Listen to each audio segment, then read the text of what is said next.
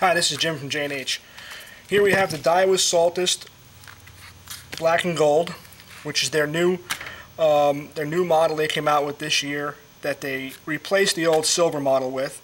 Um, overall in size, it's pretty much the uh, the same size reels. They go from the 20 all the way up to the 50. Uh, they all put out the same amount of drag as the old reels did at 22 pounds of drag. However, there are some major changes that, that, that they did make.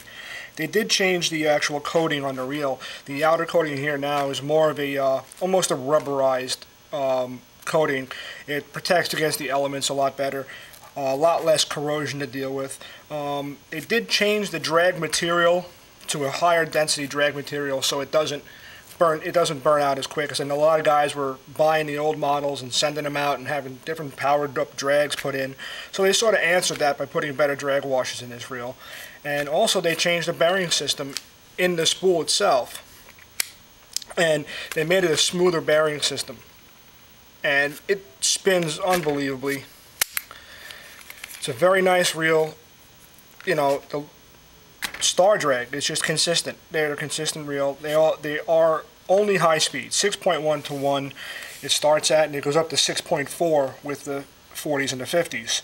Um, a lot of, you know, you guys have heard me talk about sometimes when you get into the 6.4, you lose some torque, and you, you, you do, but again, with the gearbox being as forward on these reels as they are, you're not losing that much torque. And um, these reels are great, you know, the 20s, are great for anything, you know, ocean fluking, stripers, blackfish, um, even inland, like in, inshore cod fishing is, the 20 can handle it, no doubt about it.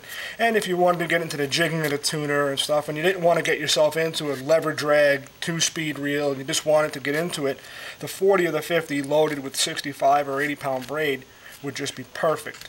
And it doesn't break the bank either.